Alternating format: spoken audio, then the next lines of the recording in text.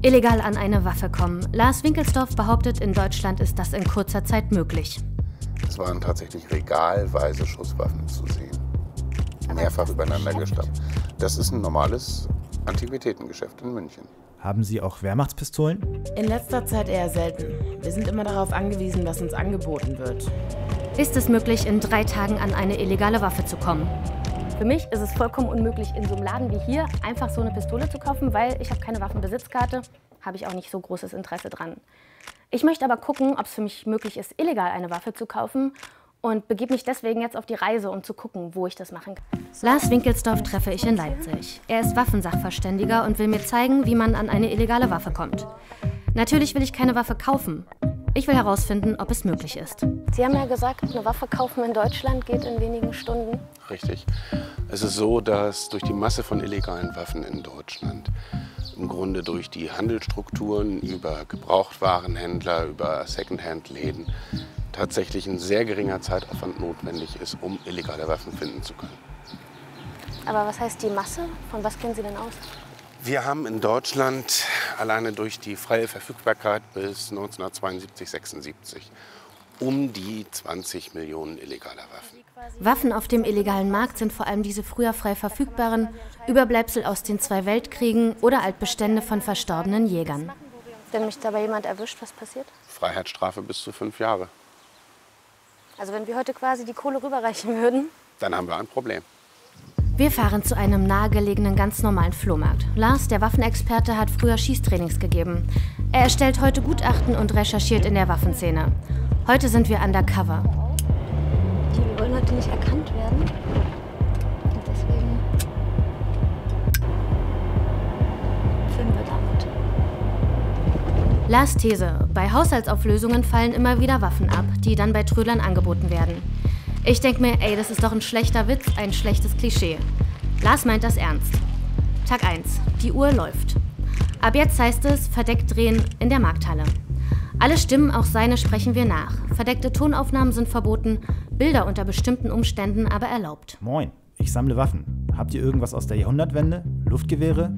Ich interessiere mich für alles bis 1945. Nee, hab ich nicht sowas. Früher war das anders, aber heute habe ich da keine Lust mehr drauf. Die Gesetze sind so schwammig geworden, da blickt keine Sau mehr durch. Er erzählt uns, vor der Gesetzesverschärfung habe er Dekowaffen verkauft. Dekowaffen, das sind ehemals scharfe Waffen, die unbrauchbar gemacht wurden. In einigen Fällen haben geschickte Bastler die aber wieder schussbereit bekommen. Einen Stand weiter, Nazi-Orden, Militärhelme und Dolche werden hier verkauft. Gerade hier könnte etwas zu machen sein. Waffen habe der Mann auf Nachfrage aber nicht. Wir ziehen weiter. Wegen der Hitze gibt unsere versteckte Kamera den Geist auf. Und gerade jetzt wird so richtig spannend. Wir fragen doch mal nach Sammlerwaffen. Nee, ich hab keine Waffen. Ich hab zu viel Angst vor der Polizei. Sehr schade. Ich suche sowas wie eine P08. So eine hatte ich mal. Die hatte einer gefunden und meinem Vater verkauft. Die habe ich aber vor einer Weile in Frankreich für einen Spottpreis weitergegeben. Stattdessen zeigt er uns einen Vorderlader, eine Einschusswaffe. So etwas darf auf Märkten nicht verkauft werden. 100 Euro will er für das Ding haben, wir kaufen nicht. Danach erlebt Lars noch etwas sehr Bedenkliches, was wir im Auto nachbesprechen. Ein Händler hat mir angeboten, dass er entsprechende Waffen mir zeigen kann. Die hätte er nicht hier. Die wären in seinem Ladengeschäft und wir haben uns dann verabredet. Wahrscheinlich ist es dann eher so, dass hier die Anbahnungen stattfinden und der Käufer dann zu ihm kommen muss. Auf seinem Zettel bietet er unmittelbar an Jagdsachen, Messer, Ferngläser etc. Das etc. sind natürlich illegale Waffen. Ob das stimmt, werden wir später versuchen herauszufinden.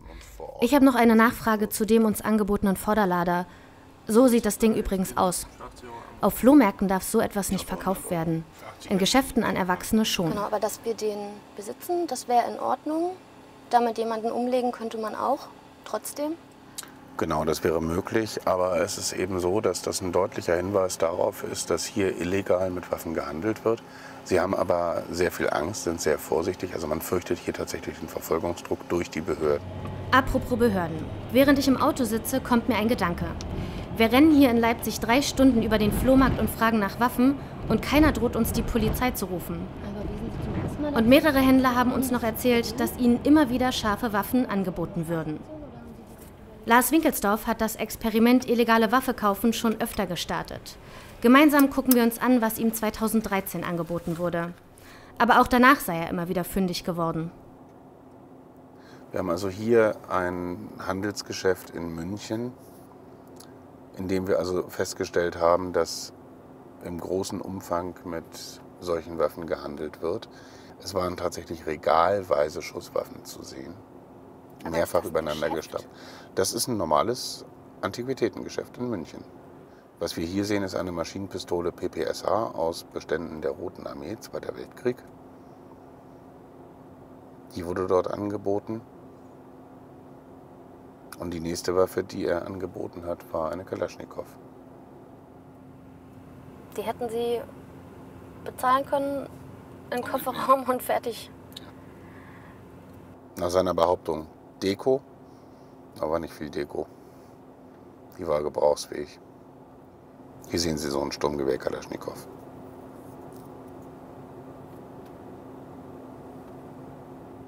Und hat er Ihnen erzählt, wo er das her hat? Nein. Darum ging es auch nicht. Nein, darum ging es nicht. Ähm, man könnte ja unterstellen, wenn Sie mir zeigen, wie das geht, dass es eine Anleitung auch für Kriminelle ist, wie man an eine Waffe kommen kann.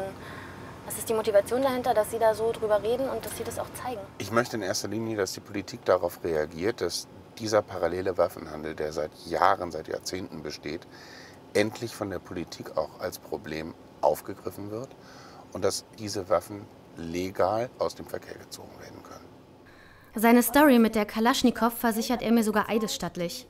Wir treffen uns später wieder. Wenn diese Waffen zurück Zweiter Tag, neuer Anlauf. Ich suche ohne Lars eine Waffe im Netz, im Darknet. Ich muss einmal oben durchs Shirt so durchfallen lassen. Das ist Max Programmierer. Dann irgendwie in die Tasche tun, genau am Kabel nochmal so weit ziehen, dass es oben nicht rausballert. Alles klar, Waffe im Darknet kaufen. Klingt einfach oder man tut oft so, als wäre es sehr einfach. Ähm, gab ja auch schon ein paar prominente Fälle, wo das gemacht wurde. Zum Beispiel der Amokläufer, der in München unterwegs war, Ja. hat seine Waffe dort gekauft, hat dann neun Menschen damit erschossen und dann sich selber. Nach dem Amoklauf war die Aufregung groß. Waffen im Darknet. Mit Max will ich checken, ob es heute noch geht oder ob die Behörden ihren Job gemacht haben. Die Dali-Maske trägt Max, der eigentlich anders heißt, weil er wenig Lust hat, dass seine Kunden ihn in einem Film sehen, in dem es um Waffen und das Darknet geht. Eigentlich ist er Fan vom Darknet. Meinungsfreiheit, Schutz für Whistleblower, weniger Überwachung. Gleichzeitig ist er gegen Waffen. Kaufen werden wir nicht, weil wir dann uns strafbar machen, definitiv. Aber wir können ja mal gucken. Ja, man braucht halt einen Browser, der das Tor-Netzwerk erreicht und das ist halt der Tor-Browser. Äh, es ist halt so, dass es meistens äh, Linkseiten gibt und die werden wir jetzt mal versuchen zu finden, um dann zu gucken, ob wir jetzt einen Shop finden. Okay, aber man kann sozusagen ähm, sowas ähnliches finden wie eBay, also so eine Art Marktplatz, wo Sachen angeboten werden. Genau, Und man kann sowas suchen wie, weiß ich nicht, Zalando, Otto oder sowas. Genau. Wo man einfach ganz normal in einem Shop Geld hinschickt und dann die Ware geschickt bekommt. das gibt's auch, ja. So, und da sind wir am Ziel. Die Adressen der Webseiten im Darknet sind kryptisch. Lange Links aus wirren Buchstaben und Zahlen. Darum brauchen wir die Linklisten zu den Shops. Und der erste Shop führt uns zu einer Waffe. Ich sehe eine Waffe. Ja, Walter PPK, Kaliber 7, 65. Neu und ungebraucht und unregistriert. Könnt ihr jetzt hier quasi für 600 Euro die Knarre kaufen und würde dann für 50 Schuss 40 Euro. 40 Euro Genau. bezahlen. Wenn man die gleiche Waffe legal kauft, dann kostet sie gebraucht 250 Euro. In unserem Darknet-Shop werden insgesamt drei Waffen angeboten. Im Impressum steht, dass die Waffen aus den Niederlanden und Deutschland per Post verschickt werden. Wenn ich was im Darknet bestelle, dann müsste das ja irgendwie zu mir kommen. Bringt mir das einer oder wie läuft das? Ja, meistens ist da der Postweg, das, ne, entscheidend. Meinst du, das ist richtig? Also ist das Verarschung oder? Ist Ja, das, das ist halt die große Frage jetzt. Ne? Wenn man da bestellt, kann es ein Scam sein, kann's, kann der Shop der Polizei gehören, man weiß es halt nicht. Ne? Also die Das ist Polizei halt- ist auch autorisiert, solche Shops aufzusetzen und dann In Deutschland nicht. aber in also- anderen EU-Staaten. Ja. Also das ist jetzt nicht unsere erste Wahl quasi. Dann lass doch noch mal diesen Shop hier probieren. Okay, muss man sich auch registrieren. Wir probieren zwar mit Gun Girl.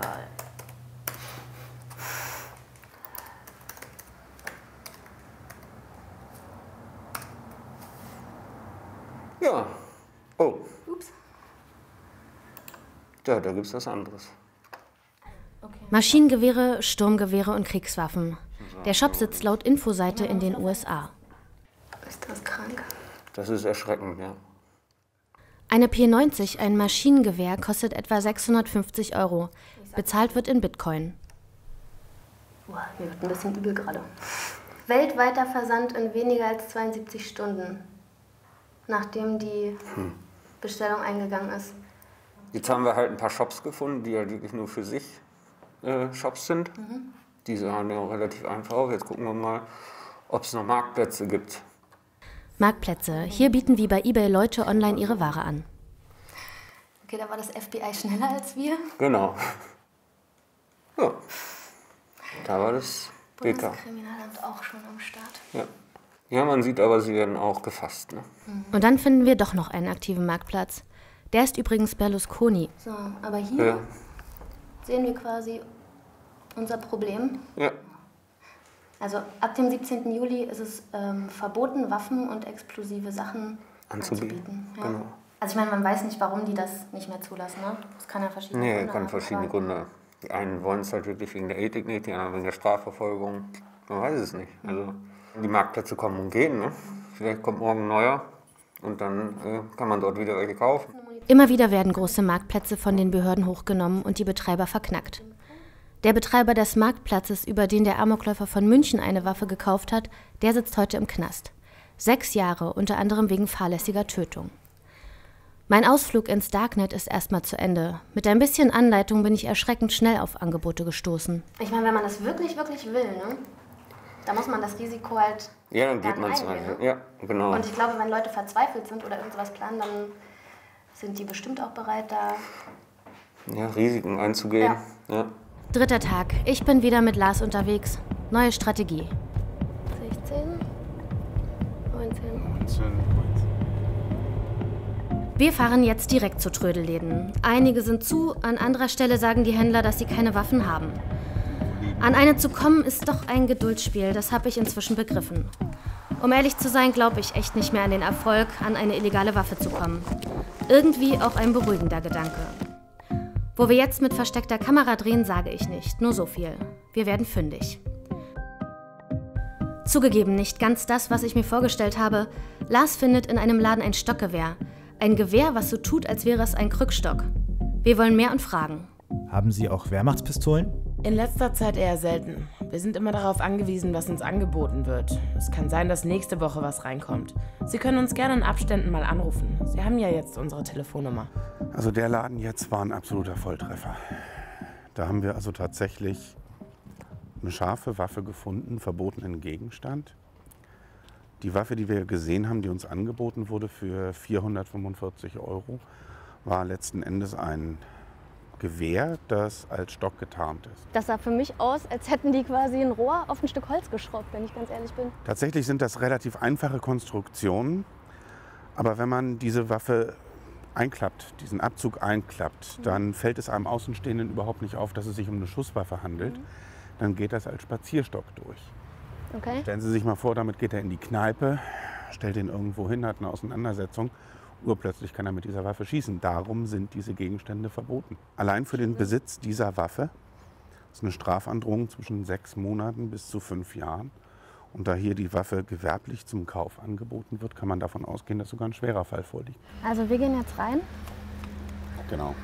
fragen nach, ob der Dame bewusst war, dass das eine verbotene Schusswaffe ist, die sie dort im Angebot hat. Und fragen sie dann, wie sie jetzt damit weiter umgehen möchte. Ob sie nicht über die Polizei rufen möchte, dass das abgeholt wird. Im Laden treffen wir auf den Geschäftsinhaber.